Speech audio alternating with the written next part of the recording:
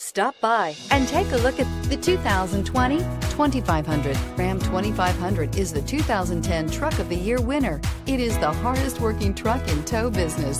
This vehicle has less than 100 miles. If affordable style and reliability are what you're looking for, this vehicle couldn't be more perfect. Drive it today.